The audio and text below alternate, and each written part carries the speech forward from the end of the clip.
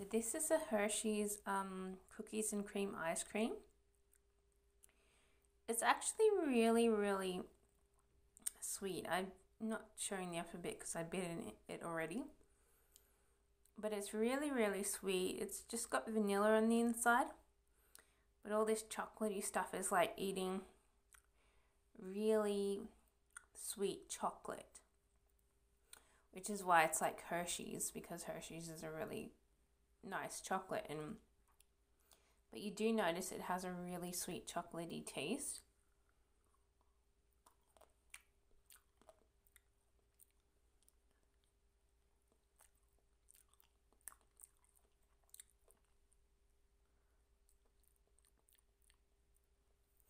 And the ice cream itself is um, a little chocolatey too. But it's got the stronger chocolatey taste on the outside. But when you sort of take away the chocolate and just have the ice cream, it seems like that's flavored with um as well. So it does say creamy cookie flavored ice cream with cookie pieces coated in white chocolate and more cookie pieces. So it is really sweet.